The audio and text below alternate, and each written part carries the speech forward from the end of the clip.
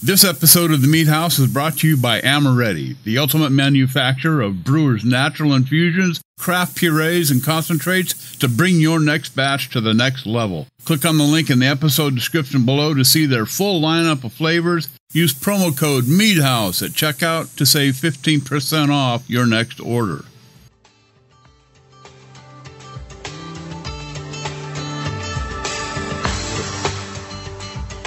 Well, I don't know about you guys, but I have had turkey fried, I've had it baked, I've had it roasted, I've had turkey soup, I've had turkey sandwiches. For crying out loud, I had turkey omelets the morning after.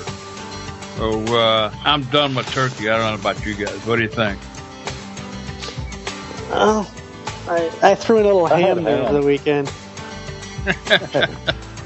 Well, hey, uh, Well, I gotta say, I've got a, I got a trick for turkey. It's a brilliant trick. Try to treat it like it ain't turkey. there you go.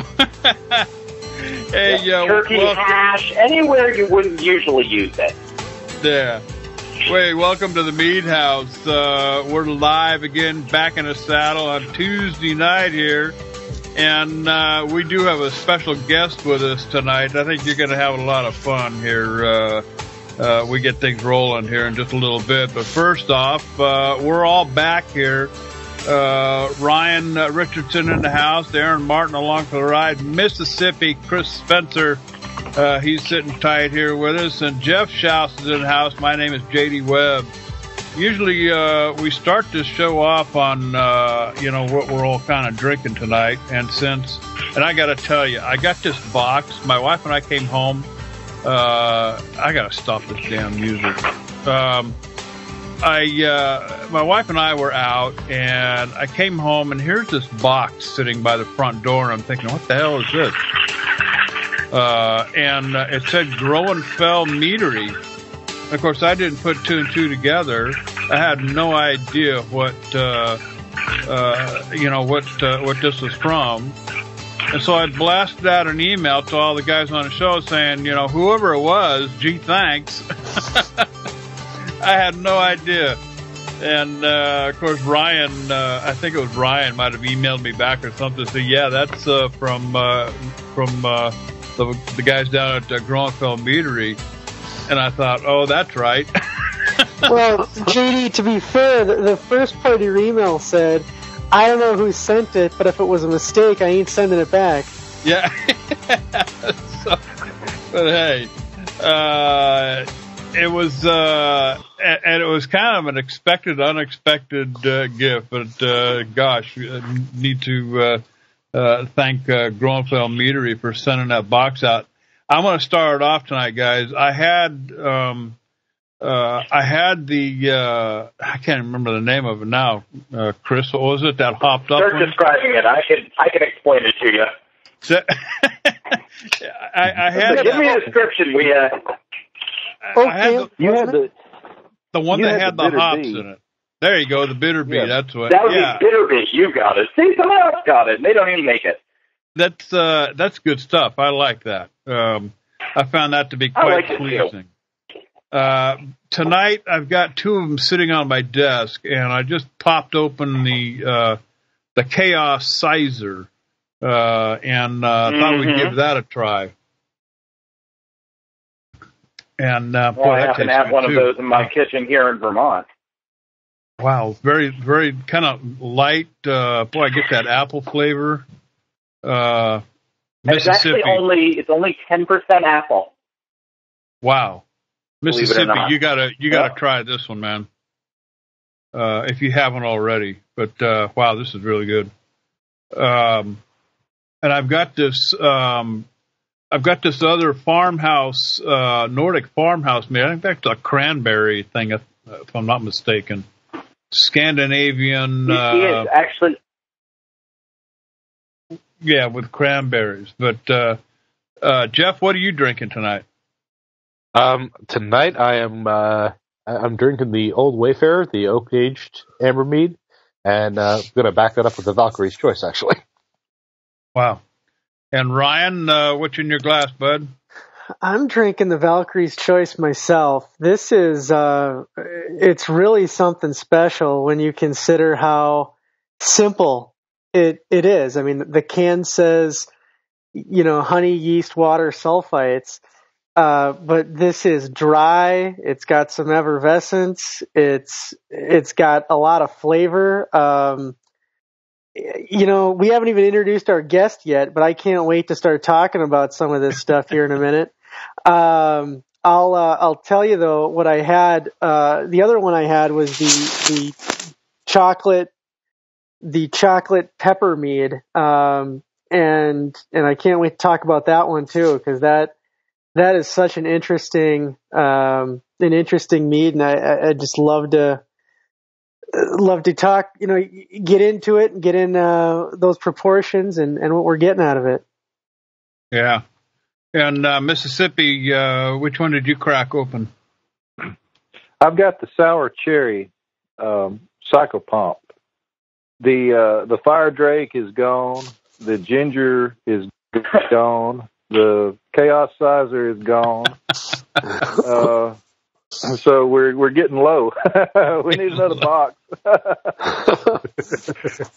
there you go. Then uh, let's see. Did I hit everybody? Uh, Ricky, you drinking anything tonight? I am. I'm treating myself to a Manhattan. I've had a very long day. there you go. Is it made with mead? I woke up in Vermont. I was gonna say I do. I actually do a mead Manhattan. Uh, there'll be mead in it in a moment. Yeah. Aaron, did I skip over you? Think you did. Um, no What are worries. you drinking? I, well, first I just have to laugh at your story about coming home and seeing an unexpected box out there. We were out of town, and the same exact thing happened to me. uh, so, um, I, you guys are much further along with these than I am. We just got home on on Sunday a couple days ago. Um, so I'm cracking open the first one tonight, the the bitter bee, the hopped mead. No. wow! I like that one. Yeah, it, I'm enjoying it. I also just have to say I love the cans. I think that's a really cool way to package it. Yeah. Well, you can't Fine. sell bottles to save your life in Vermont anymore. Really? Is that? yep, uh, 16 ounce cans are nothing. We actually discontinued all of our bottles. Wow. Uh, that some must be some kind of a state law or something? I guess, huh? No, no, no. It's uh, it's just everyone's into the cans these days. I think it's a hip thing. Yeah. That's I wouldn't uh, know. I ain't particularly hip. All right. Well, Yeah, we uh, we've got a lot to talk about here tonight. Uh, of course, uh, Ricky, the mead maker. I don't know if you've, uh, you know, and I, I just recently, uh, after uh, the email and everything uh, with Ryan here over the last couple of days, had to go to YouTube and watch the videos. I had never seen them before. And uh, dude, I'm telling, I tell you what, you you need a Grammy award or something. Uh, some of the funniest things that that I think I've ever seen, and but you're delivering a message out there to to mead makers uh, in such a humorous way. I mean, it's amazing. Uh, it's good stuff and very very entertaining. What really, what I, I tell my Grammy all the time, who just turned 92, she watches my show, and she'll like notice that 300 other people have watched an episode, and she asks every time, who on earth watches your show that isn't related to you? and I have to tell her, I don't know, Grammy. Like, but recently, um, I've been given like a regular spot on our local news. Oh, Just wow. because, and and when they offered me the spot, I said, "Talking about what? I can't imagine people at 6 a.m. are going to want to hear about mead every week. I don't even know why people on YouTube watch it." And they were like, "Oh, just come on and talk about whatever." well, you know that's how, that's kind of how I mean, we that's what I do on michelle. Yeah, and that's uh, you know, I mean, that's kind of how we started out too. Uh, you know, it was uh, I produced a show, uh, another show, quite a while back, uh, all about mead, and uh, since left, and then Chris, uh, Chris Spencer, Mississippi. Uh, he and I kind of get together and uh, we decided to launch a new show, and then uh, we found Aaron and and Jeff and and Ryan came aboard, and you know we're just we're just five guys sitting around the table. None of us are professional mead makers, we're just you know avid home brewers, home mead makers, and uh, you know we we come in, we talk about uh, you know what we got going, or we'll pick out a recipe and either tear it apart and fix it, or uh, come up with a recipe and uh, and do it. Uh, we've got a couple of projects that we've had in the fermenter already. I think we're uh, we might be working on our third or fourth by now, I guess. Uh, this braggot thing that uh, I have a, I do, I, I have a favor for you guys at some point in the course of the evening that I need to ask of you. So Sure. when there's a lull, you let me know. Yeah, we'll do. I, man, I, I I dig this chaos. Uh, Chris, what did you think about this cyser? Um, I liked it a lot. I mean, I haven't opened anything yet that I didn't like, and uh, you know, um, I was making good mead, and everybody liked what I was making, and my wife liked it, and uh, then this box shows up, and uh, now everybody's saying this is how you should be making your mead, and Uh, uh, so uh, I don't know. My, I guess you know, why'd you ruin my life, Ricky? I mean, oh, well, the, the, the good news is, so the easy part is making good mead. The tough thing, and you can do it at home, is I was going to tell you guys when you were talking about the Valkyrie's Choice, that particular can you have is, let's see, ship time, five weeks old. As in, it was honey five weeks ago. Jeez. Holy Wow. moly! yeah. Wow. I mean, this stuff is That's good. the You know, tough uh, part. I've got to say though, so far my favorite has been the uh, the chili chocolate mead, and it's not because of the chilies or the chocolate. It's because that particular mead had more honey character in the flavor, in the aroma, in everything Mhm. than than the others. Have you tried Old Wayfarer yet? Not yet. Uh, that's The one that's coming up later tonight. Okay, Old Wayfarer. Uh, it it we can get into all the nerdy details because when I'm at my bar, people will walk up and you know they'll they'll ask me a question. I'll look right at them and go, "Now, are you a home brewer or are you just curious?" Because I've got two completely different versions of the story. If you're willing to listen to me talk for 35 minutes, I will tell you exactly why the one with chilies in it tastes more like honey than the one that, that has twice as much honey, but is Valkyrie's choice. But most people just go, nope, actually don't care. Pour me another sample. Yeah, pour me another sample. Uh, We're we're meat Yeah, we do free here, so samples, you so- feel free. Yeah, Yeah. so you are. Yeah, well, while we're on Fire Drake, um, you know, I wanted to. That was the first one that I tried, and and it was actually the first one I tried because when I got the cans, I thought it was the one that I liked the least. Uh, I'm not a, I'm not a, pe- I'm not a pepper guy, you know, spiciness, that kind of thing. And, and I was with my brother and, and we opened it and, uh, shared it. And I, I figured if I didn't like it, I'd just tell him to drink it.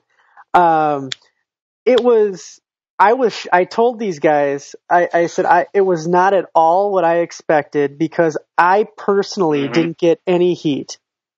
I didn't get any heat Mhm. and, and I, and I, like Chris, uh, was saying, I got a lot of honey flavor and aroma out of it. And then, um, I wasn't sure what the cocoa was doing in it. So I'd, I'd love if you could just, just tell us a little bit about that one and, and what the cocoa does for it. The the cocoa So, hit me are you after allowed- I finished the glass.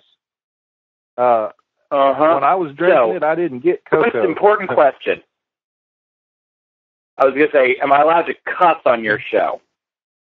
um, I'm not going to. I'm not going to cuss much. I never cuss on my own show.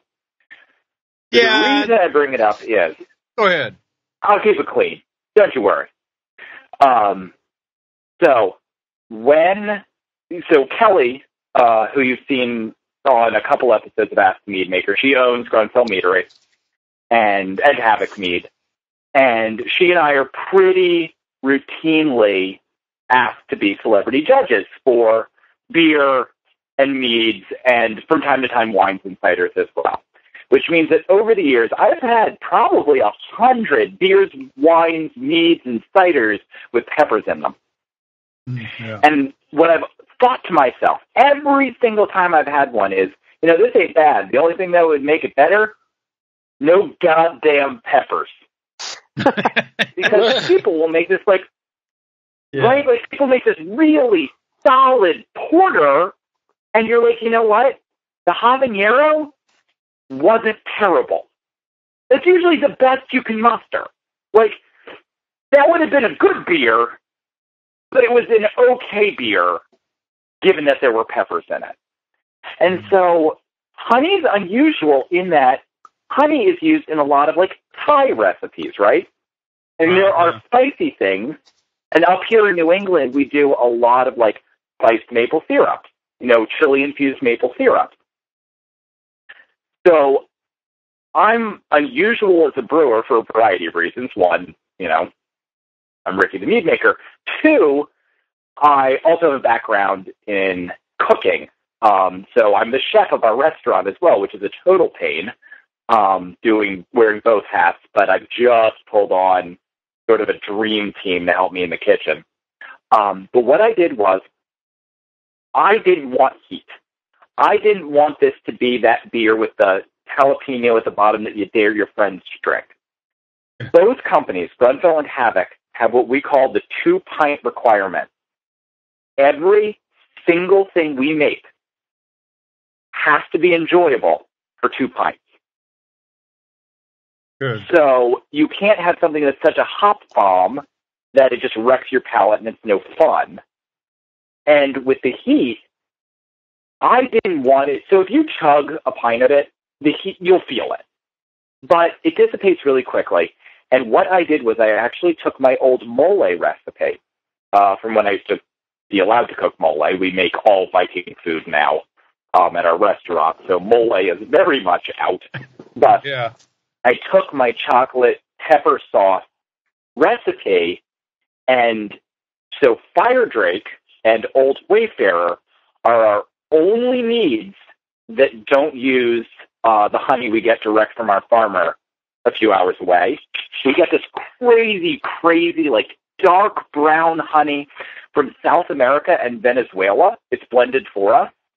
And the stuff's almost inedible in honey form.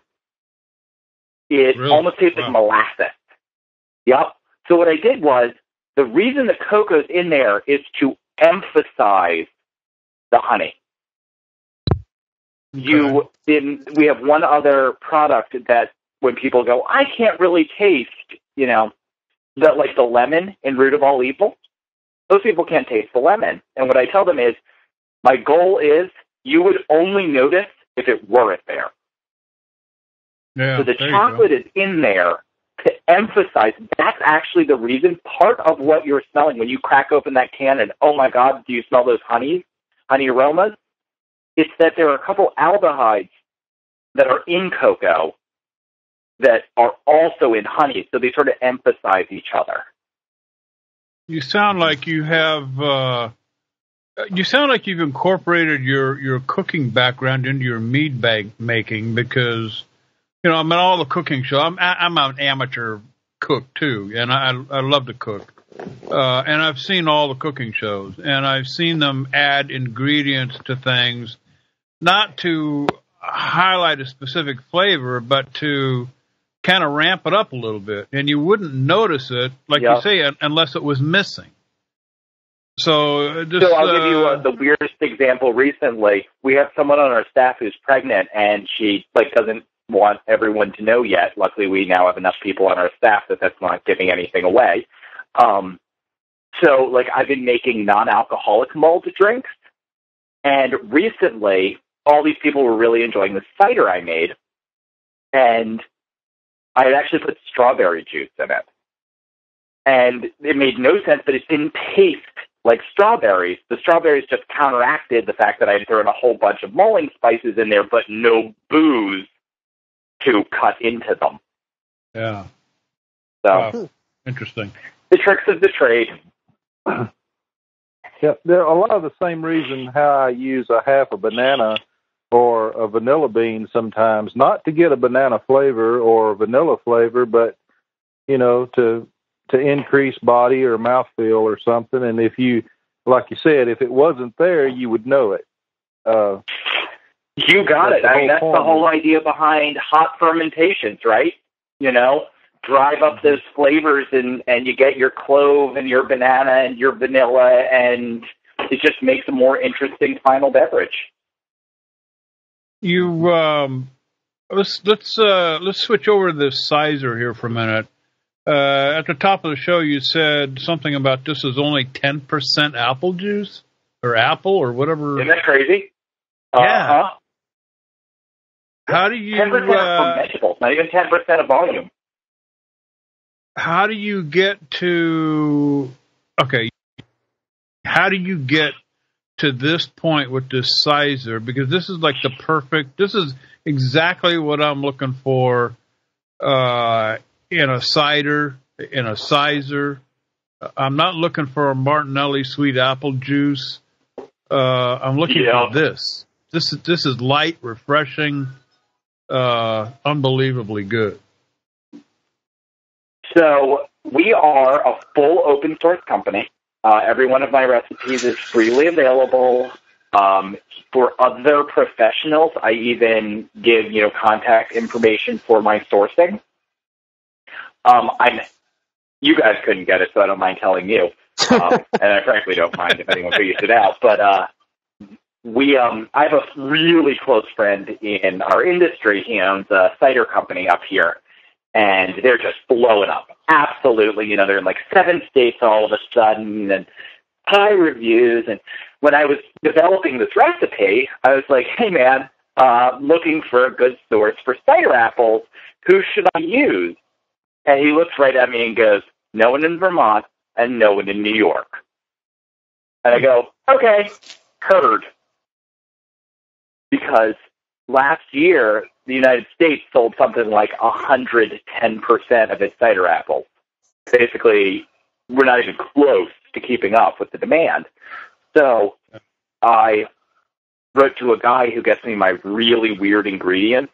His name is Larry, which is like the perfect name for a guy that can get you anything. Anything? And uh, Larry found that in central Spain, like the Basque region, they used to have a huge cider industry. But all of a sudden, Spanish wines are really popular in Europe because of the way the euro works. So they can get like really cheap, really good Spanish wines, and all these people are basically letting their cider apples go fallow. So um, I could get actual Basque cider apples in the United States because no one in Europe was using them. So the trick was just getting a really high quality apple juice and then backing it up with the right. So our uh, wildflower honey has a pretty appley flavor to begin with. And then just like you were saying, whichever one of you was saying it, we throw vanilla in there. Not so it's a vanilla mead, but so that it emphasizes both the apple and the honey. Okay. This is uh, this is this is. I, I- I think this is where I want to be with my own meads. This is this is exactly what I'm looking for. Uh, even the first one that I had. I'm glad. Uh, Yeah, well, and I, I, I, I've got to say this, and, and all these guys know already that, that I'm not a dry mead person at all. Uh, but I, I drink this stuff all day if I could. Uh, How long have I been one- telling you guys about dry session meads? was that Ryan? Yeah. Say it again, Ryan. So how long have I been telling you guys about dry Yeah, session meads? I know. yeah. Well, it's the bubbles, guys. The bubbles make all the difference. you know, and I don't. I actually don't love dry still mead myself. Uh, though I do. We do have a special in-house only line of honey wines. Um, we will almost certainly never ever release them to the public. I'm not going to burden my poor distributor with trying to sell honey wine, but we have one dry one there. That's pretty popular. and I don't I don't particularly care for and these guys have heard me say it too. I, I don't particularly care for carbonated drinks other than my beer. And uh, it's only been very recently that I've uh, you know yours is probably the second one that I've had. My actually I think my first one, Aaron, was your Braggot. Uh, I believe that was the, probably the first carbonated mead that I had uh, that I No, really you had enjoyed. uh, Frank Goldbeck's. You had Well- Frank Goldbeck's mead. Yeah, um, but that that's Have you guys had? I was going to a say, you guys had anything uh, from Charm City yet? I had No. Charms. I actually had Charm City's pumpkin mead on, uh, you know, Oh. last I mean, weekend. oh. I haven't had that one, but I think they're another company that's just killing it with the bubbles. Their canned Yeah. meads are, I mean, I'd be happy to buy them off the shelf if they were available in my area. Well I is mean, hell, I got, I got a uh, fridge full of their stuff from when I went to Maryland. Uh, you know, for a long time, Ricky, I've been I've been thinking that mead should be treated like a wine and not carbonated, but left still, left to age. Uh, you know, and perhaps maybe that's what I was looking for, but I, maybe I've been mistaken all along. Maybe uh, maybe that's not what I should be doing because uh, the two that I've had from you so far, I mean, this is it. This is what I need to probably base all of my meads off of right here because this is it's not sweet. It's lightly carbonated. It's not over the top. I get the apple uh, you know uh, slight apple taste. It leaves you wanting more. I mean I, i'm going to finish this can. And wish i had another uh, before the night is done. Yep. I actually always feel Uh, guilty when I send uh, people just one of each. Well making Well, you can fix that. yeah Uh huh. perpetual I'm allowed to sell out of state, you guys can have as much of my meat as you want. What uh uh you know when when you talk ten percent apples is that is that uh, during fermentation do you use secondary how, how do you treat the No, apple? uh, that's that's primary. Every every single fruit uh, in both both lines, Groennfell and Havoc, um, every single fruit is primary. Um, with a, I mean, technical exception. Um, root of all evil has lemon in it, which is technically a fruit, and it's added in secondary. Uh, though we recently had an issue with that with um, re-fermentation. It served me right. Um, learned my lesson. Ten years 10 years of brewing and I'd never had re-fermentation and we are halfway through opening 9,000 cans and pouring them back into a fermenter.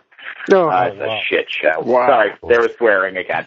it was, yeah. But you know what? It's been a good day. Uh, we have a, we have a new hire. He was one of our regulars. He used to work at a brewery and on his first day he got to stand with rubber gloves on and very carefully pour uh, 4,236 cans into a fermenter. Oh, jeez. So, Oh. welcome aboard, DJ. yeah. He's pay, paying his dues. So, eh, Yeah, Yep. If we, We actually, uh, I'll tell you, we, go ahead. I was, I didn't mean No, to no, cut no, you off no. your story, Ricky. I'm, uh, I just can't get over this Valkyrie's choice that I'm drinking here. This is, uh, it- I want to talk, actually, the Valkyrie's Choice is the one I want to talk about because, yeah, um, I would love for you to I'm talk sorry about. that you, okay. Go ahead. Rick. So one of the things we talk about is, as I said, open source company. Um, frankly, if some if if local people want to buy from my honey supply, I will sell to them portions of my drum. You know, like I want people at home making mead because you know what? Home brewing did not make a dent in craft beer's sales. And one of the things I found over the last couple years, I had these, uh, I call them kids. They're, you know, like 23, 24, um, who came in to the mead hall about two weeks ago. And one of them, they had all gone to the college that, uh, is next to our mead hall. And one of them tried to make Valkyrie's choice at home. And he was like, man, it was so good. I almost nailed it and his two friends were just like standing behind him, shaking their heads. And he he could tell, and he turns around, he's like, "Well, I thought it was good," and they were like, "It was good," but you know, one of the things I want people to understand is anybody can make incredible mead at home. I have had meads from homebrewers better than anything I put in a can.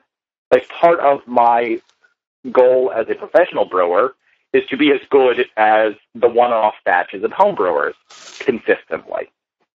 Valkyrie's choice is the mead that I hand to homebrewers, and I say, you'll appreciate this. Wow. Because well, you know, is, Ricky, we've talked about uh, before on the show that we could we could take a recipe and we could hand it around to all of us and go home and make it and and we could follow it to the letter, but they would all taste different because we've got different honey, different water, different fermentation mm-hmm. uh, conditions, everything. No matter how yep, hard we try, we would never replicate uh-huh. between. And when you think about the fact that up where I am, uh, we switch aquifers throughout the year in Vermont.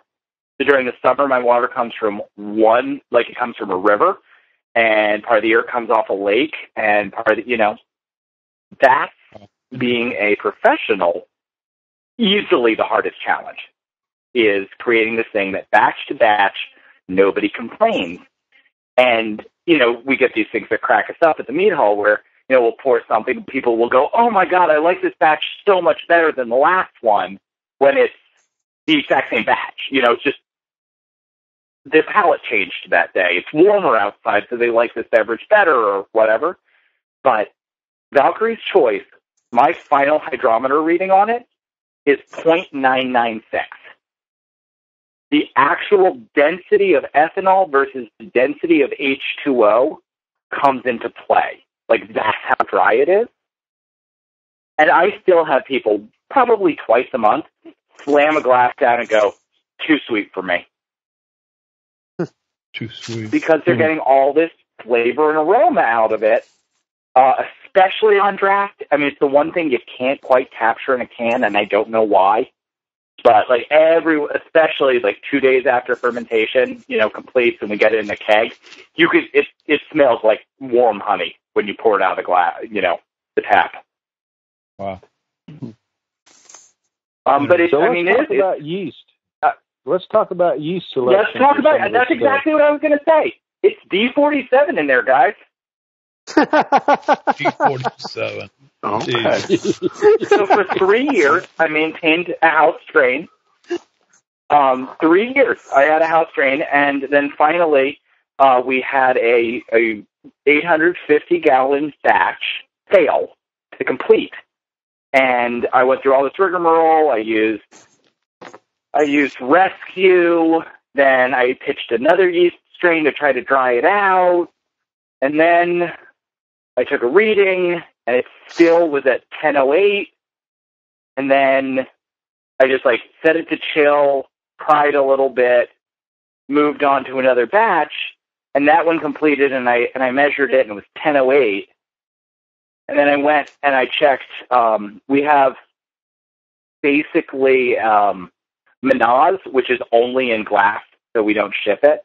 Um, Manaz is like the uh, absolute zero of mead. Like, if you need to standardize against something, we use Manaz in house. I dropped my hydrometer into a glass that I had degassed. It was 1008. The paper in my hydrometer had shifted. Oh. The first batch had not failed. We had 860 gallons of a perfectly good mead sitting in the tank for three months because I thought that it had failed to complete fermentation. Waiting for it to finish. Through this, uh huh, uh huh. So as I told you, we're three week turnaround usually, and so this was like a crisis. Well, three anyway, weeks. in this process, yeah, honey to glass in three weeks. Okay, I, I need to stop you right there. One time. I, I, need to stop you right there. For mm-hmm. how, how how does a home mead maker get it from pitch to bottle in three weeks, or is, is it even possible? I'm going to. I promise to tell you. this is the lead into that. This is my great gift to the home brewer because when I was putting together my business prospectus and my pitch, basically I was told by one of my investors that if I couldn't get my turnaround under four weeks, it was going to cost me $150,000. Hmm. And so I was like, okay, let's figure this out. So we'll get to exactly what I do because I now have a lot of customers who have started brewing, which I think is great. Though two of them used to come in every Friday, and I now see them like once every three months. So that thing I said earlier about home mead makers not taking a chunk out of professional mead making may not be true in this particular case. Um, but in this whole process where I thought I had lost the batch, I had this crisis of faith. I had started with a liquid strain. I had carefully cultivated this thing up. I had actually made a a variety of yeast um, through progressive mutation that could ferment lemon juice. Um, and the people at Wyeast Laboratories wanted to sequence my house strain for the pH tolerance, which is cool, except I thought I had lost the batch. And so in this moment, just like like everyone during a crisis, right? You go back to the faith of your youth. You know, a lot of people who were atheists went back to Catholic churches the week after September 11th. Like you go back to your childhood faith, and I was and I bought three hundred dollars worth of D47 because like that was that was my workhorse as a home brewer, and I pitched it into a batch, and I can't remember where it was. I I wouldn't know because I'm not allowed to look at my reviews on Untappd or anywhere like that. Um, I try to emphasize like I'm just the pretty face of this company. Like Kelly owns it, Jamie makes sure things actually get where they need to go. Like we're proud of the fact that we're a woman-owned, woman-operated brew house. But, like I can't emphasize that enough. Like with I'm I'm really just the pretty face and the brewer. But I threw in this D47, and all of a sudden, our reviews on Valkyrie's Choice, which was already our most popular product, start picking up. And I was mm-hmm. like, if I don't have to keg up and wash a thousand dollars worth of yeast every three weeks, and I can just buy eighty dollars worth of commercial yeast and pour it in through a little hole at the top of my fermenter, I'm going to do that. Yeah. So Valkyrie's choice is, if you want to make it at home, Canadian wildflower honey, which you can get, D47 yeast, six times more than you usually pitch. Wyeast, Wait, wait, wait, wait, wait, nutrient blend. Wait, wait, wait. Six times more than you usually pitch. We're going to get back to that in a second because I promised I'd be Oh, good. Unlike God, some other okay. professional mead makers, I was going to give you very usable things. Also, Guys, I think I'm. I think I'm this the might cover be a story of the two-hour next Brew show. Your Own magazine. oh, I'm might be a no, it won't. I go to bed at ten. Um, yeah, I- I'm, I'm already up notepad late. out now. Um, Well, he's you're coming Uh, on a so- second so the show. good I news is- you. So the good news is, um, I just I just heard. I think I'm the cover story of the next Brew Your Own magazine. I'm pretty certain I'm the first cover mead story. So I do this whole thing about how we do what we do, the three week turnaround, because that's what I gave my my lecture on at um, HomebrewCon this year. Yeah. So basically, back to what I said. I kill the wild yeast in my honey because I use raw honey. Um, and we're going to talk who still has a Nordic farmhouse. Uh, I, I- I still like, have in one. your- yeah, it's in the pantry.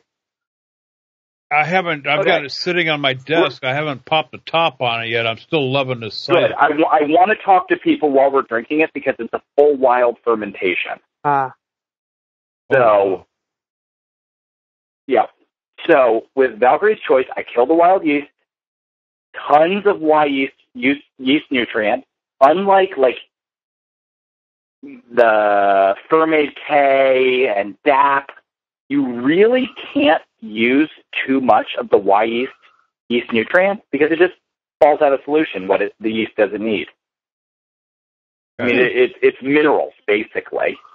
Um, a lot of that robustness you're getting, the mouthfeel, even though it's that dry, that's all thanks to Wyeast. Those Why? guys and their yeast nutrient give such body to your meads. And then I ferment it hotter than anybody says you should ferment it. How do you mean? I ferment hot. as in Valkyrie's choice. That baby cooks at 86 degrees Fahrenheit. Oh my god. Holy cow! Wow. That's 20 belie- that's 20 degrees Uh-huh. above where I ferment. With D47 Uh-huh. too. So all Isn't those that- things. Uh huh. How does it Yeah. not come out hot? Are you guys ready? Do you have your notepads out? Oh yeah. Type Are you ready? away. I'm going to walk you through step by step every single part of my rationale, and um, you're free to tear it apart. You could have like a whole episode next week where you were like, "What the hell was that guy talking about?" That's fine.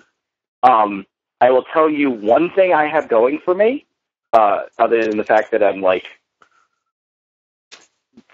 selling mead and able to. I, I mean, I own a 215 year old manor home in Vermont. So, like, that's weird um, for meat makers. But I have a uh, uh, pharmaceutical company next door to me, and they're able to tell me things about what I make that I don't quite understand, even with all the chemistry I've studied. So that helps. So, Yeah. are you guys ready? We're Yeah. ready. Number one, raw honey makes all the difference in the world. You can make a good, a very good mead with Costco honey. I've made lots of very good mead with a Costco honey. What it is difficult to make is a good dry mead because the volatile flavonoids and other compounds are driven off through the pasteurization process. Mhm. What about the Costco So raw if you can honey? get raw, raw honey has one more added benefit, and that is that pollen is a yeast nutrient. We don't know why. We don't know what in pollen functions as a yeast nutrient, but bless the hearts of the American Honey Society, they have run side by side tests at like the University of somewhere, and it's been found fairly robustly that pollen, grade A yeast nutrient. Next, you can actually use distilled water to make mead. So long as you are prepared to ameliorate, ameliorate, not ameliorate, ameliorate the water with minerals. We actually build up the mineral components of our meads by hand after sending our water through a multi-stage filter.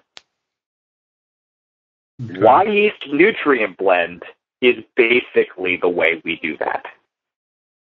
I use, I just worked this out for the article, uh, the Brew Your Own article, so like you'll be able to go there and check if I'm wrong about any of these numbers. But I think I figured out that we use something like a whopping one ounce of nutrient per gallon. One, Hmm. wow. Wow. One ounce. Dang. we don't truck with this step nutrient addition nonsense.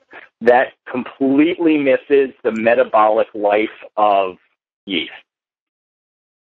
Next, D47 is so cheap. Like, even if I were pay- if I were paying your prices for D47 and not commercial brewer prices, it's still a bargain at any price. I think I'm paying 89 for- cents a sachet. Yeah. Right, right, right. 89 cents. That's the cheapest thing in your entire brew. If you're not using a packet per gallon, you're wasting your money. This Packet stuff is incredible. Side Why? note, Okay. what? Well, I was going to say, why No, why I'm- so much yeast? Uh, a packet per gallon. I mean, that's like five packets for a five gallon batch. That's exactly five packets for a five gallon batch. Your math is extraordinary. Um, how many people here on I'm the show make beer also? I- Yes. I, do. Yep. Yep, Yep. several As of us. of as of a month ago, yes. Okay. Pretty much all of us, Yeah. I think. Most yeah. of us, yeah. Right. Okay. Yeah. So when you are done a batch of beer, how many inches of trub do you have at the bottom of that bucket? a lot. Yeah. Right? fingers Three, worth. four inches. yeah. And every every beer brewer bitches about how much beer they lose to the trub and yeast at the bottom. How much Yeah. yeast do you have left at the end of a batch of mead? Yeah. Sure, like sixteenth of that. How much trub is at the bottom? Yeah, Not about a sixteenth Uh of that. Yeah. Uh huh. You literally have 15 times more yeast fermenting a batch of beer than you do a batch of mead because of the propagation of that yeast in its initial life cycle in your batch. Okay. You're not over pitching when you put Okay. five packets in. According to Wyeast's pitch recommendations, at five packets in a five gallon batch, you're still under pitching. You know, that's interesting because now that I think about it, uh, you know, the beer that I brewed, you're right, and yet I've added zero nutrients to any of the beers that I've brewed. Zero. You know how well humans do in a pure sugar environment? About as well as yeast does. Oh, wow. Yeast does not like a pure sugar environment, and that is what meat is. It's sugar and water. I mean, you might as well be making jungle juice if Yeah. you're not back adding minerals. Interesting. Wow. So, yep, you can't. I mean, this is what I tell my my customers who are homebrewers. You can't overpitch. Okay, You can so break the bank on yeast. so Ricky, I'm gonna just kind of run down what I've what I've heard here. So we're gonna start Mm-hmm. with we're gonna start with uh, raw honey, and then and distilled water, distilled water, and uh, Mm, the, no, the no, no, no, no, no, no. Don't use distilled water. You can. oh okay. So we're gonna I use would recommend using use your local water and then add more minerals. I was just emphasizing that if you are building up your minerals, you could theoretically start with distilled, but I wouldn't, okay. So so we're gonna use especially as a home brewer. Just use Use tap water. use And a tap if your tap water. is good to drink, it's good to brew. Yep. Okay, so we're using our tap water, using uh, one ounce, let's just say one ounce of the Wyeast nutrient per gallon. Is that the right proportion you had said? If that's your thing, Okay. Yep. If And you are not a Wyeast kind of guy, if you're not a Wyeast kind of guy, I would say experiment because you can definitely overdo with Fermaid K. Anything that's really high nitrogen, you will taste. I'm. This is not. I'm not a shill for Wyeast nutrient. So if Jeez. there's something else you want to play with, one of my friends who's a distiller uses all Fermaid K. Isn't that so what you Mississippi can't had been use the kind of levels I do. Mississippi yep. So tells me the is same lovely thing. because it's what we use. Yep. yeah. So then, yeah, and uh, and so uh, the the uh, the nutrient all goes in up front, right? Right. Why waste your time? Why open that bucket more often than necessary? You're just asking for trouble. okay. So we get it in there. We pitch. We pitch the uh, a lot of yeast. You know, so if we're doing one gallon here, we'll use one full packet. And then you had said that you you ferment at 88 degrees. What is the what is the room temperature of of what you're fermenting? And I guess or how much of that is is the heat generated from that that vigorous fermentation you must get? Let me tell you. So we're, I hear someone here named Mississippi. Um, I'm standing in a in a room, a room in a home that's 52 degrees Fahrenheit, and that's only because we just had our fireplace roaring. it's going to drop to 46 here overnight inside my house. It's not December yet. My meadery, if we miss our marks, because we have no way to heat our fermentation, we can only cool them. Um, if we miss our mark, we're screwed. So, one time, we went a little high because it was the dead of winter. My meat hall uh, was, this is where people sit and eat, by the way, 52 degrees. 52. and uh, yeah, so uh, it was a little cold. I've insulated fermenters. We ferment, you know, roughly a thousand gallons at a time. So I got her down to about 80 degrees, pitched the yeast, expecting to lose a few more degrees, and then to have my chiller kick on at 76. 76, still a little high for what some people do with D47, but very much within its temperature range. So, I have a, um, so Kelly and I uh, both got HVAC certified to install our own cooling system for our fermenters. About Mm, 30% of the system had to be installed by professionals because, you know, three phase wiring and all that. Yeah. In that 30%, there's a tiny, tiny little $95 flow valve that is, after three years of tweaking, still screwed up. You guys hear there how I didn't use a real curse word that I would usually use about this bane of my Yeah. existence. Got Um, so, yeah. So, this little flow valve failed to fire. Shut down our entire system because what it told the system was, oh no, there's a break in the line, stop the pump. Oh. I got in, and my entire meadery smelled. The way I described it later in another interview was like a bunch of Green Bay Packers fans were put on a strict cabbage diet for three weeks and were stuffed into a small room. Oh. Oh my god. I open the door and something is so clearly wrong, and I almost start throwing up. Oh wow. So I run over, restart the chiller, and what had happened was this was back when we were using our house strain, which was originally built off of the Wyeast dry mead strain. It was putting out so much hydrogen sulfide that to this day I'm not certain I didn't suffer brain damage. We shut it down, we get the temperature back down, I look at it, it had hit 88 degrees. And here I am in a quiet panic, you know, because I don't want everyone else on the staff to worry. When I say everyone else, at that point it was two other people.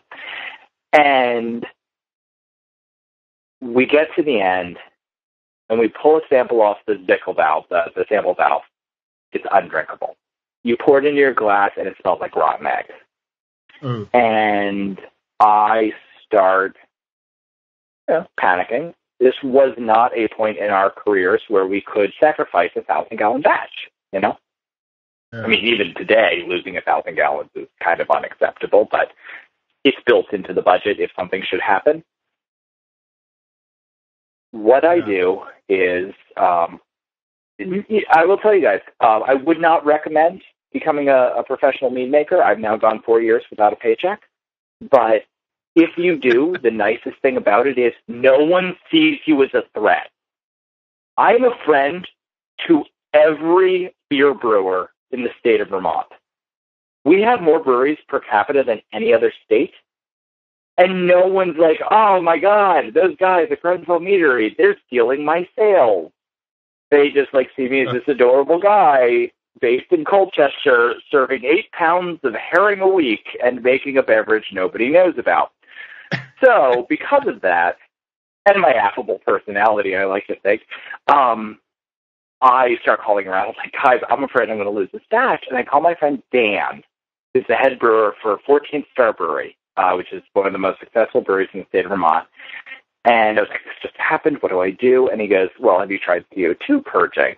Because back in my homebrew days, and this matters, this is where I was going to teach you guys my trick, I used to throw my toe on the edge of a bucket, you know, every few days and degas. Just shake it back and forth, get the bubbles out. CO2 retards active fermentation, so you get a more vigorous fermentation. You stir the, the yeast up in the solution, you knock those bubbles out. That's the best way to get down to 0.996 final gravity. Yeah. You can't do that when you have 33 barrel tanks. Um, I mean, one of the tanks almost fell over and crushed Kelly, which was the worst moment of my entire life, but it didn't. That would have actually been the worst moment of my entire life. And you can't just shake these things back and forth. And he said, Have you considered CO2 purging? Basically, CO2 is the cheapest thing in all of brewing when you're a pro. It, I mean, it comes to you on a truck. They plug a thing into the wall, and three weeks later, they're like, "Your bill for 700 pounds of CO2 is $100," which is great, Yeah. or less. I don't even know. I don't pay the bills. I told you I'm the pretty face. So, basically, what I do is I plug my CO2 into my stone, and I just start sending this gas through. Bubbles up, and the place reeks. We buy a six hundred dollar carbon air filter and roll it in line with our bubble lock, basically, to clean the air as it comes out. And everyone else in the facility is still complaining about me. Uh-huh. And then I give them free drinks and they stop complaining. But Interesting. ever since, since we switched back to D47, we haven't had this awful fermentation. It was partially my house strain, which was actually a poly strain, and we won't go into the nuances of that because it's not useful to you guys. But when you make a mead as dry as Valkyrie's Choice, if you ferment it super clean, it'll taste like vaguely honey flavored seltzer. This is actually what most people are complaining about when they say they don't like dry mead, that they're flavorless. When you ferment hot, you get all sorts of esters and aldehydes and all sorts of cool things that emphasize the honey. They don't detract from it. So long as you have a way to purge it. You guys throw your toe on the edge of your bucket and shake it back and forth. And then when fermentation is done, get a power drill and a wine whip and you beat it out. Yeah. If you have a, a carb stone, just throw your carb stone at the bottom of it and just run CO2 through for a minute. That'll volatilize everything in there. Apologize to your spouse uh, for the smell. And then, you know, give him or a drink and it'll all be skookum. But that's the biggest thing that I try to drive home to homebrewers because it's the opposite of what you find online. Ferment it cold, ferment it clean. You don't want a clean fermentation. One of my favorite beers is uh. The beauty of a Dunkel is that it's not a Schwarzbier. It's not a super clean black lager. It has all these flavors going on. Same grains. It's fermented hot. It takes advantage of that yeast. And I hate when I see these things online that say use champagne yeast. Champagne yeast is supposed to do one thing strip the flavors and give you alcohol. I mean, I guess technically that's two things, but it's supposed to take the flavors out. Champagne yeast is is the Teflon bullet of yeast. Yeah. That's probably why I don't it's like champagne. to do is make alcohol. Yeah, I, Yeah, I mean, you know, I mean, one champagne- one champagne to another, they all taste the same to me. Sorry, brute. Sorry, And you know. unlike people who unlike people who say that about beer and whiskey and wine, you're right about champagne. Um, I'm going to say something which I think is extremely unlikely, but I'm going to throw it out there. Anybody here a big Dorothy Sayers fan? Yeah, that's the silence I'm usually met with. Um, brilliant writer, brilliant writer. But there's a great line in one of her books where someone has just been saved from the gallows. And she says, you know, I guess I'm supposed to order oysters and champagne. And the protagonist of the book goes, Yeah, if you're a plebeian, champagne is not interesting. There's a reason that everybody likes champagne. It's the same reason that on a hot day, everybody likes a Budweiser, even me.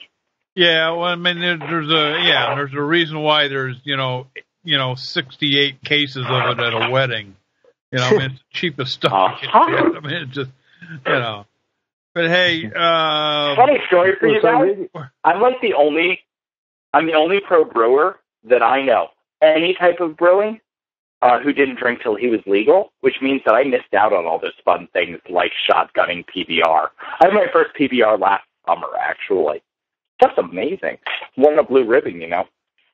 yeah, So Wow. Ricky, when you when we started the show, you said that uh, you had an ask of us, just bef- so we don't forget I it. or so do. we don't, Thank uh, you. Let's let's Yeah. hear it. because I'm going to go to bed pretty soon, whether I'm still talking to you or not. So this is a, a few months ago. Uh, we had a request. Uh, it was one of the first. Uh, there are two questions on my show that I have been unable to answer. The first one I have never answered, and I actually have done a huge amount of research, and I'm like sure that I'm on a bunch of lists right now. Um, somebody asked if a bee visits uh, plants in the Cannabaceae family, specifically THC bearing marijuana plants. Does it make a hallucinogenic honey, which would make a hallucinogenic mead? And I have done my best. I have actually called universities in an attempt to answer this question. And there isn't enough good data for me to be able to answer it. This is not the question I'm asking for help with. My question I need help with is much more quotidian. I don't do a lot of test batches anymore. Um, smallest batch of Valkyrie's Choice I ever brewed, smallest batch of Nordic Farmhouse, uh, smallest batch uh, Root of All Evil, uh, were all a thousand gallons. I'm Okay. still a home brewer on the side. I brew a lot of beer, a lot of cider. Somebody asked a bunch of questions about brewing with fresh fruit versus dry fruit. right. I don't okay. have the time, or let's be honest, inclination at this point, to do dried apricots in one batch and pureed apricots in another, or fresh cranberry juice and dried cranberries. And as the holidays have approached, I've gotten a whole bunch of questions because of Nordic Farmhouse. Nordic Farmhouse uses a concentrate, um, which I like for a variety of reasons, which we will definitely not have time for in this episode. We can talk concentrates versus fresh juice in another episode if you'd like. Sure. But a lot of people use craisins. You know, they go to the local store, they throw craisins in the secondary, and they make a mead that they love.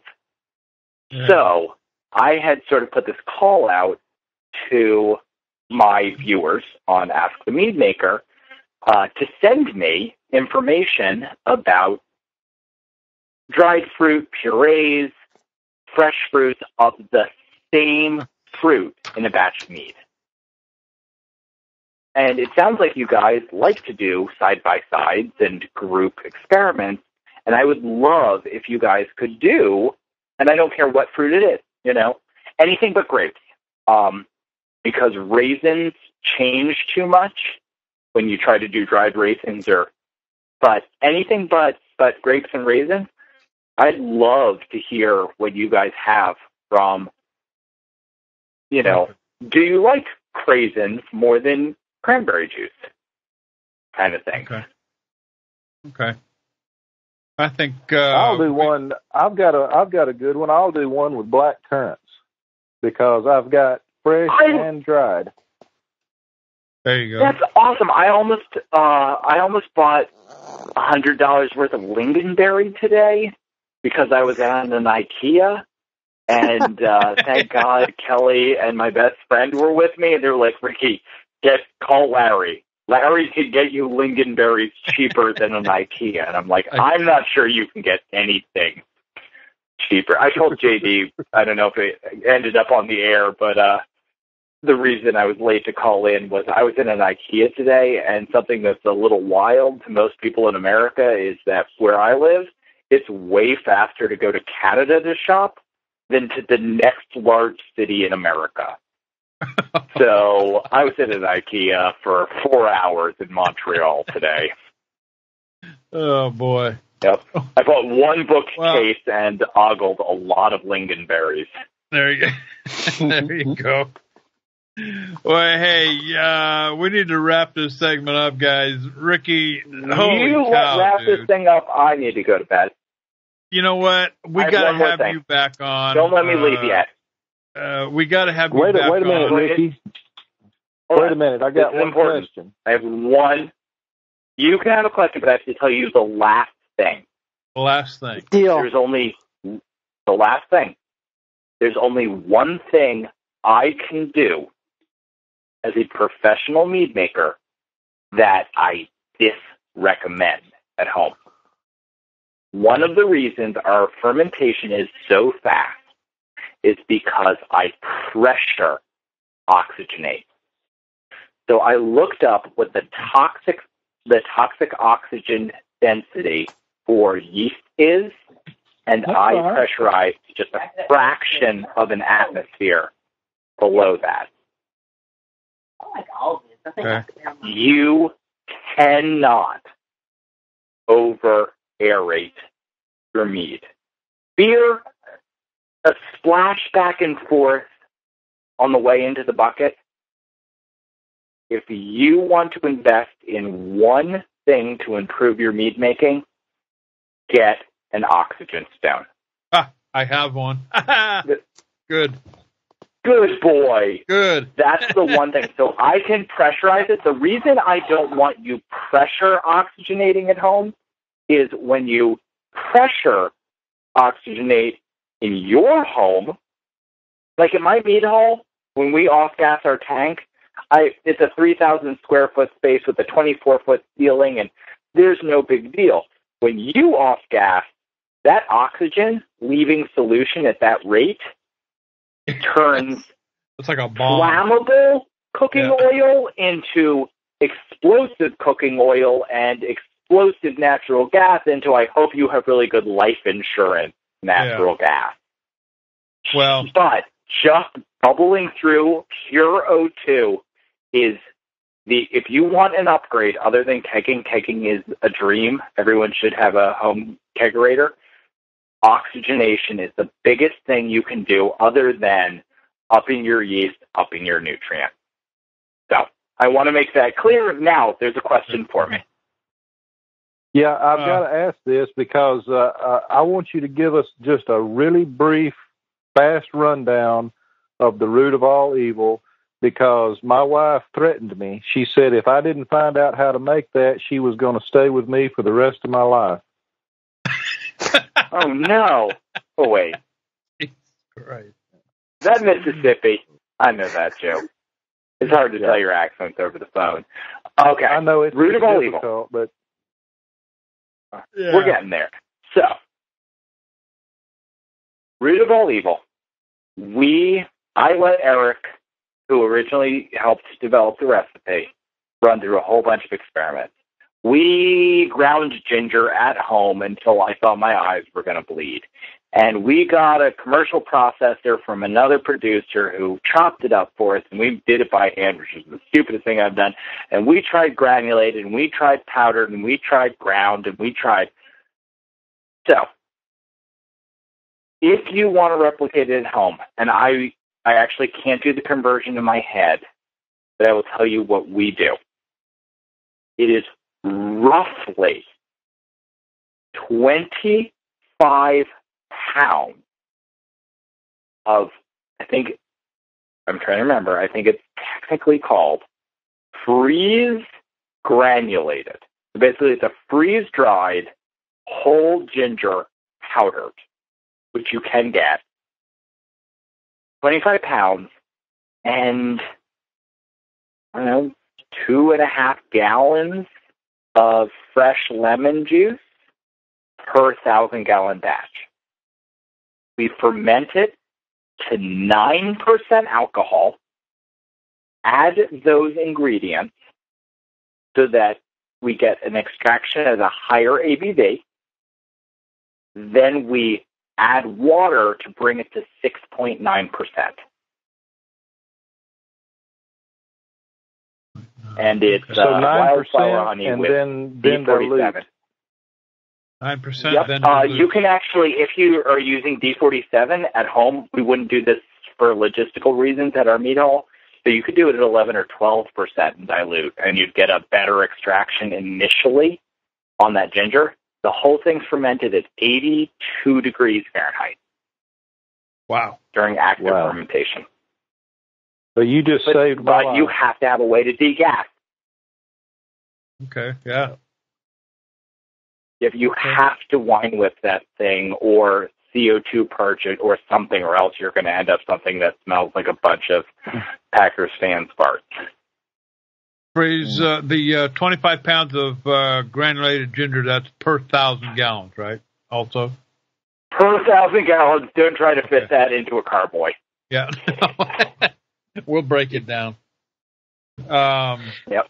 Uh, Can I throw out one final yeah, question? everything we submit to the federal government, we do by thousand gallons.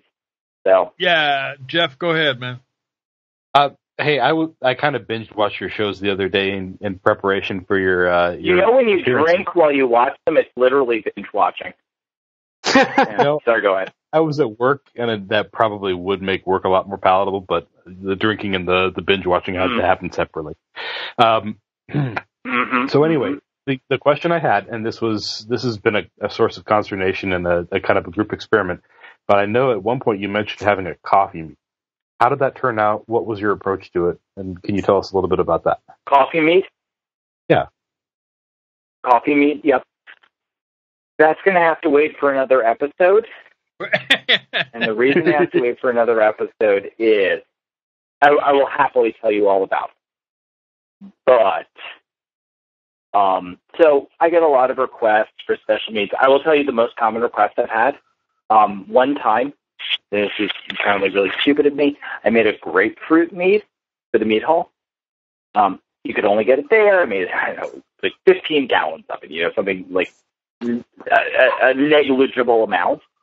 Um, but someone put it on Untappd, and for a while it was our most highly reviewed product. And then, and this is like that, I used to make a lot of specialty batches. I don't really have time for that anymore. But our best account requested uh, bespoke mead for an event recently, and I was like, "Oh, I'll make grapefruit mead."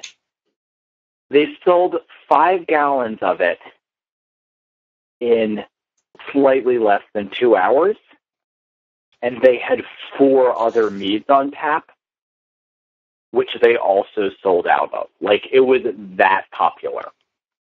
Wow. And the problem is, I have had more requests for a re-release of my coffee mead than I have had for even the grapefruit mead.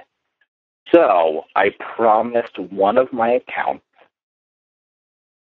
that I'm going to re-release somewhere in February a coffee mead. And what I want to tell you guys is what I actually release to the public and not what I can barely resurrect from making a Cafe ML three and a half years ago. So, Good excuse You to have have you back have- on. modicum of patience. Yeah. Well, Well, you make sure you that- can a few of those. Send them our way. Definitely, uh, definitely got to have Ricky back on the show. I mean, this, this is unbelievable. Uh, you know, and I, I love your your YouTube videos. I haven't watched them all yet, but You shouldn't. It's bad for you. Oh no, come on! I mean, when I first turned it on, and I see this guy sitting out in like the middle of nowhere in this green pasture in this chair with a glass full of God knows what. I'm thinking, okay, what what is this Uh-huh. guy doing? God knows what. you know? Wait, oh, I have to tell you a true stuff. story. So, so the We're longest you project that I've ever. Oh, I Not- know you are. My poor Not my wife fault. is sitting in the other room. I know. I have to. I What? I still have bread to bake tonight. Anyway, Oh, um, do you know I also own a bakery? Anyway, wow. um, it's called yeah, it's called Megistelt Bakery, which is just Old English for Mead Hall Bakery. Very clever. Anyway, um,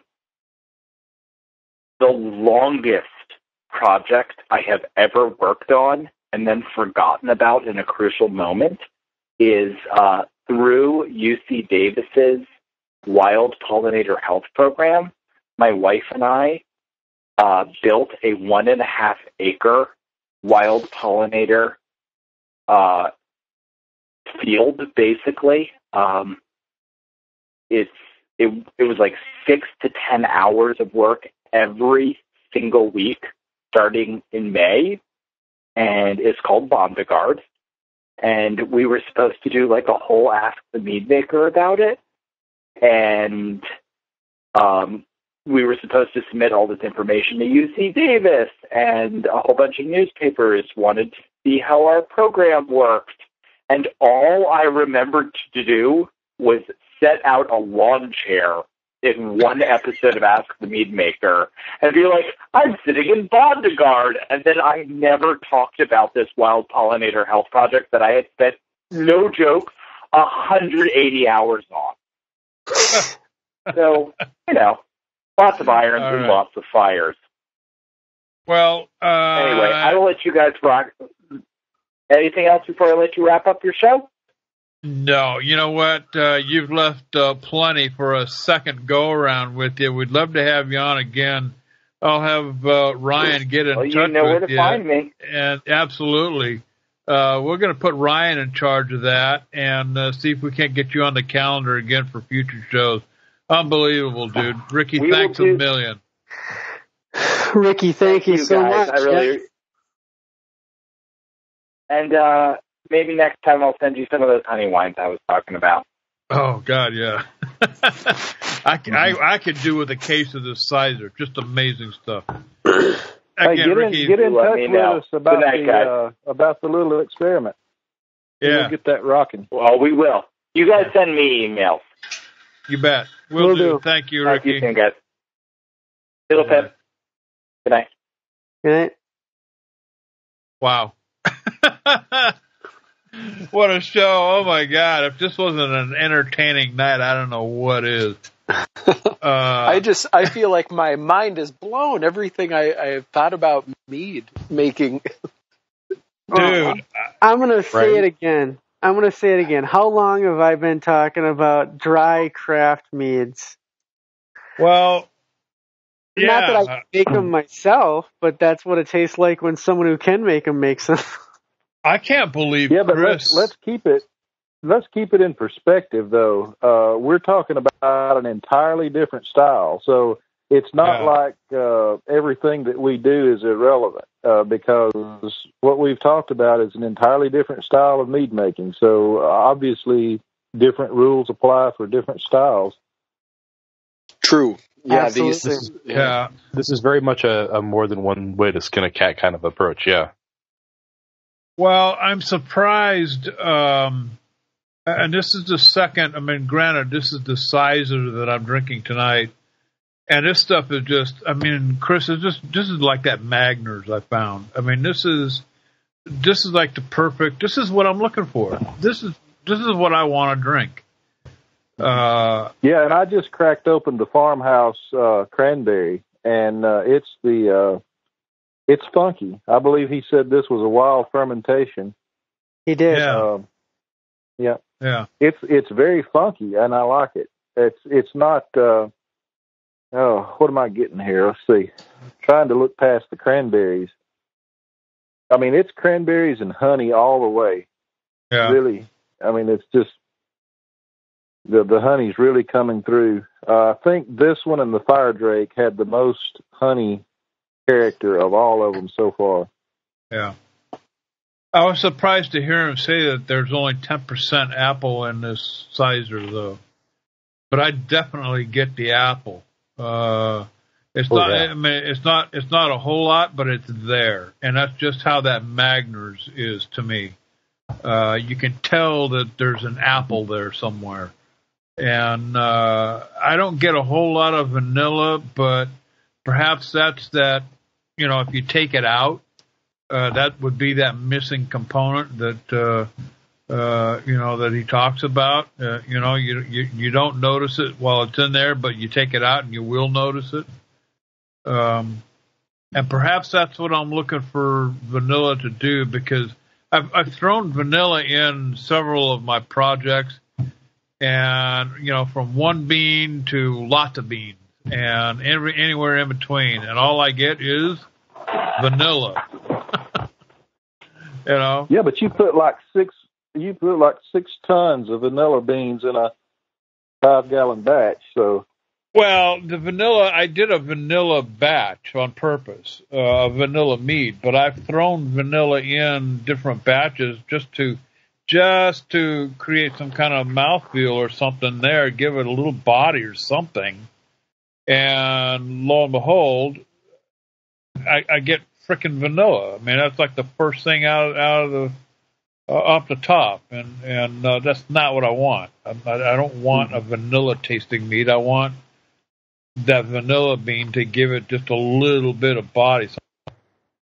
But, uh, Mm-hmm. Jeff, But you anyway. did a you did one of your braggots in a in a Saison style. Is did it was it have this sort of funky character to it?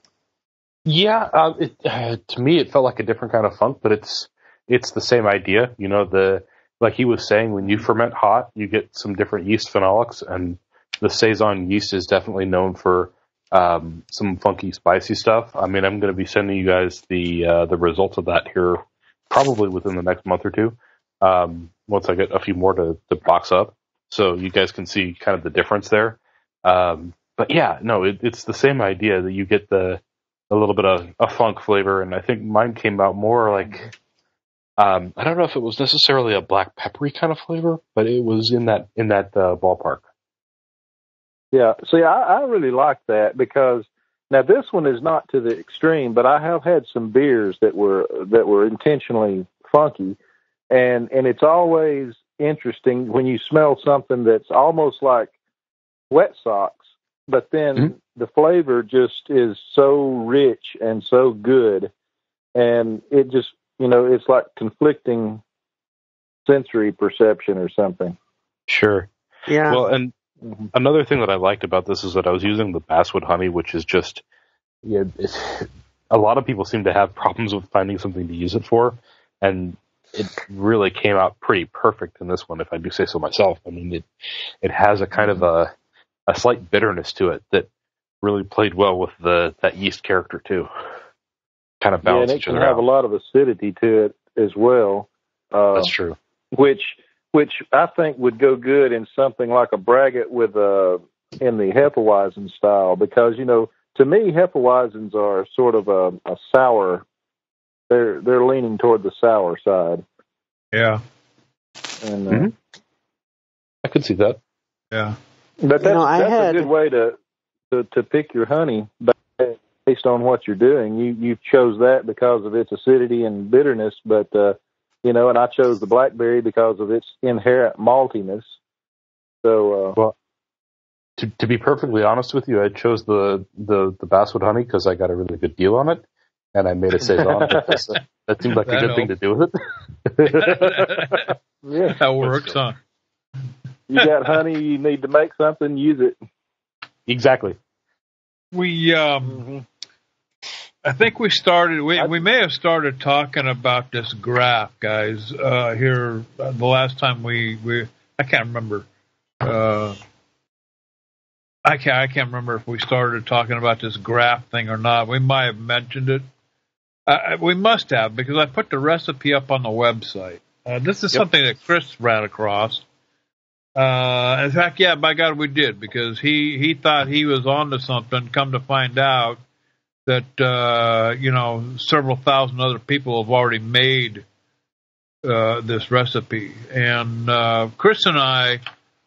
Uh, we're we're uh, Chris is actually on his second batch. I am just starting to. Uh, probably put mine together tomorrow, Chris. I didn't get a chance today, but um, I don't know if you guys seen the recipe or had much chance to even uh, go over it. But this is a a cider. We're going to call it a cider. It's a hard cider, but uh, you're using uh, half a pound of crystal.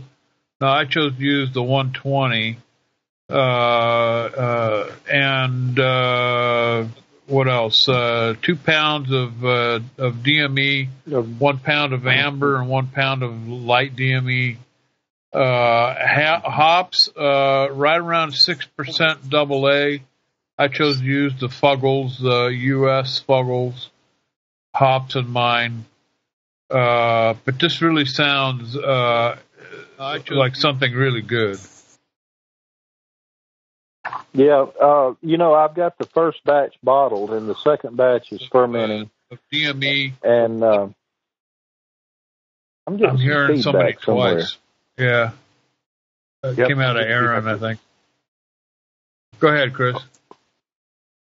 Uh, but uh, you know, I tasted it, and um, when I was bottling it up, and it's it's it's dry, it, and I think once this is in the bottle, once it's had time to sit for uh, three or four weeks or so, I think what we're going to have is basically a dry, as good of a dry cider as we can make with what we have.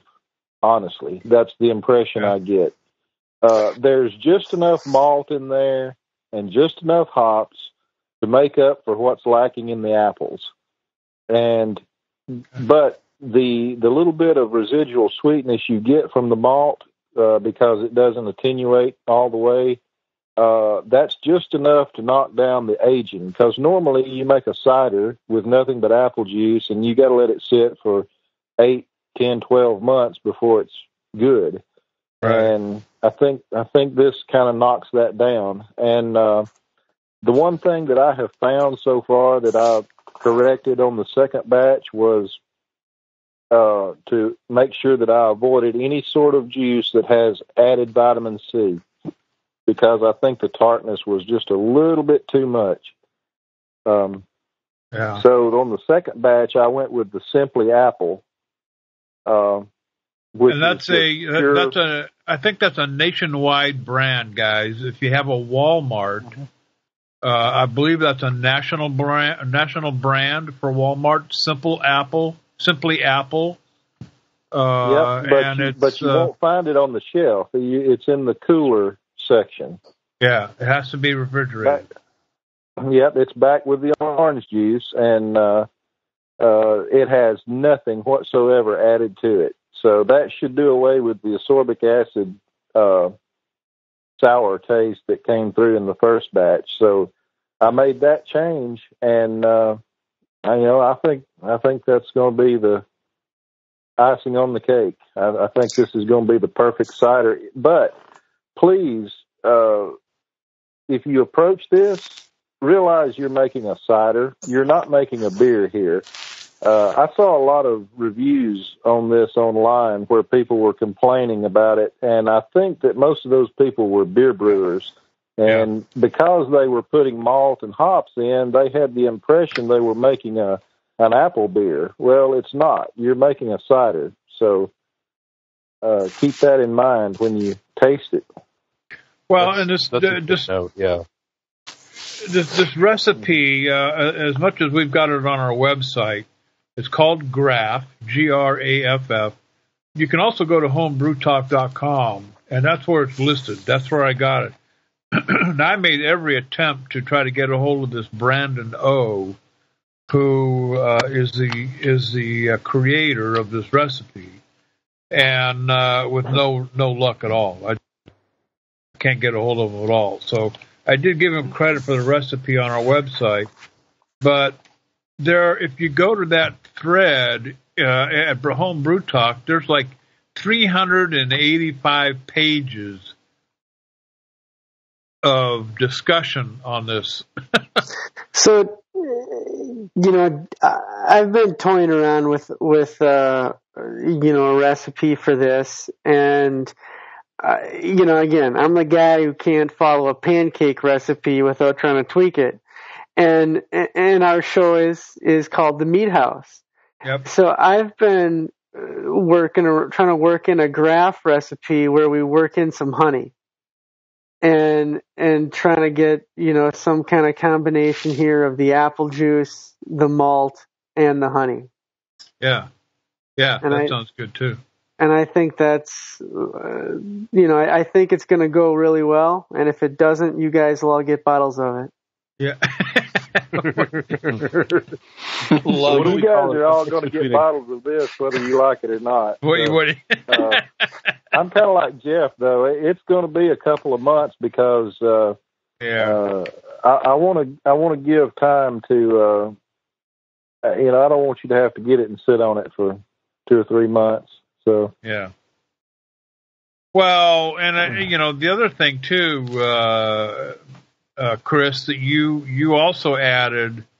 Uh, now this is this is after you did your first recipe. You put a second one together, and you added some uh, some black tea, right? I added four bags of black tea uh, while I was steeping the grains. Yeah. And, and this is unflavored. Unflavored, just something, just plain black tea, uh, like Irish breakfast tea or something. I added four bags in the steeping water, and um, and I added two cans of apple juice concentrate, uh, just to up the apple flavor. Now, I told you yesterday when we talked, I may be premature in doing that because I tasted this when I bottled it. Uh, the first batch, I should say, was to the letter by the recipe. I changed nothing. Yeah. Uh, but when I bottled it, I noticed that the apple flavor was lacking just a little, and it was just a tad bit watery.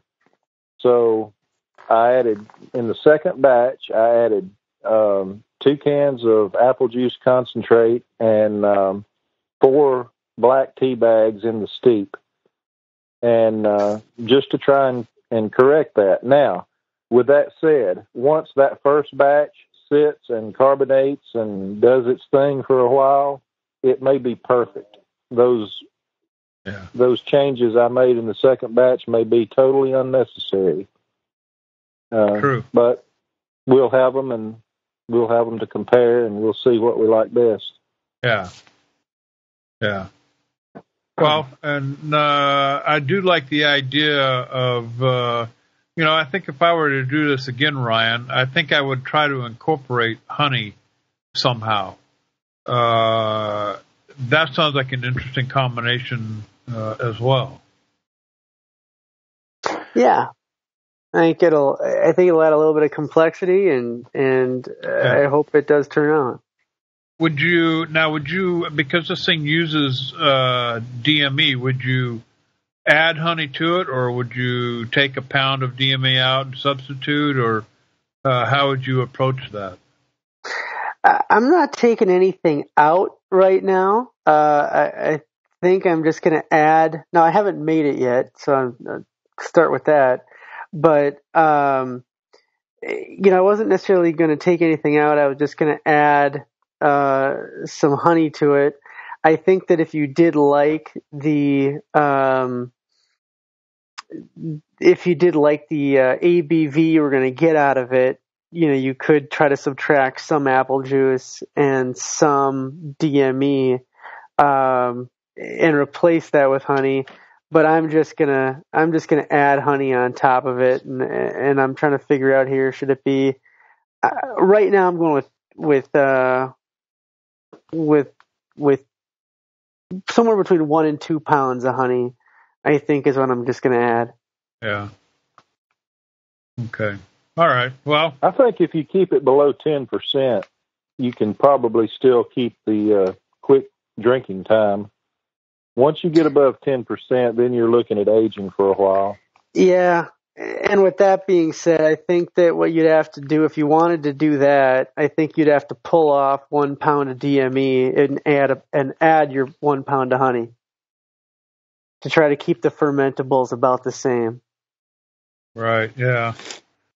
That's what I did. Uh, I took, um, I think it was Michael Fairbrother's uh, recommendation and uh, pulled two pounds of uh, uh, uh, extract out of my that one braggot that I've got going and replaced it with two pounds of honey. So just to keep everything kind of on, on an even keel. So um, they're both still on carboy, so uh, both are tasting pretty good uh, I may get around to racking one or both into, well, I take that back. I can only do one because I've only got one empty five gallon keg.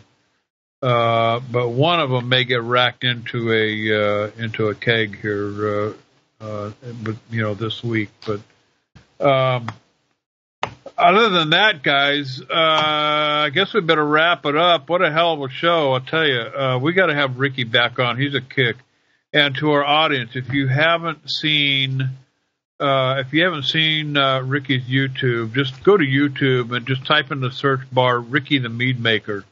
Uh, it'll definitely pop up. This guy's a hoot. And, uh, you know, my, my first uh, encounter, I mean, he's sitting out in this pasture, uh, you know, looked like he's a hundred miles from nowhere uh, and uh, he's got this glass of uh, God knows what, and he just starts in, and what I mean, I, I couldn't pull myself away from it. So uh, it's one of those things that just you know keeps keeps you keeps you you know wanting more. So uh, check it out on the YouTube, uh, Ricky the Mead Maker, if you haven't seen it yet. But uh, uh, all right, guys. Well, hey. Uh, that's going to wrap it for uh, this uh, this week. Uh, we've got a short month coming up. We've got Christmas coming up here in a couple. Uh, what is it, like three or four weeks? I mean, Christmas. We're crying out loud. Uh, does anybody even have our broadcast calendar? I, I lost track a long time ago. but hey, JD, uh, I, ah. I, need to tell I need to tell everybody this. Uh, and I know there's there's a fella over in Japan um, who's been listening, and um, he's emailed me a couple times wanting to know about the uh, Heart Murmur project. Oh, so so I thought that we would, uh, whenever our last show is, uh, before we take off for the holidays uh, as my holiday gift to everyone, I'm going to finally, after all this time, release my heart murmur recipe. So that'll Good. be my holiday gift to everybody. And uh, I, I, guess I need to get you guys a, a, bottle of it. So there you go. Uh, Sounds good. I do have our schedule up here. We are going to be on next week, uh, December 6th, next, and the week after that, December 13th. And then we're going to take two weeks off. We're going to be off the week of the 20th, or, or the, uh, or Tuesday the 20th and Tuesday the 27th, and come and get coming at you fresh in 2017 on January 3rd. January 3rd. There you go. Okay, perfect. Um, I gotta, I gotta start delegating some responsibility too. I keep, I, I just, I, have got this kegerator project that I've been working on, a brand new build, and I just didn't have time to do the Facebook thing. So I'm going to task one of you guys uh, to go out and cruise the Mead Facebook, come up with some, some good stuff from folks out there, and uh, just uh, shoot me an email. Tell me who you got and uh, I'm going to let you talk about them when we get on the air. You know, people love to hear their names uh, mentioned on the show. Our Facebook has taken off. The website's taken off. We're we're way over several hundred downloads per show. Uh, we're up to several thousand downloads already or more, uh, and I believe this is show number 30 tonight. So been a hell of a ride for sure. But uh, tell you what, come on back next week. We'll do it all over again, and uh, I'm sure we'll have uh, plenty to talk about then. So uh, with that, we'll see everybody next week.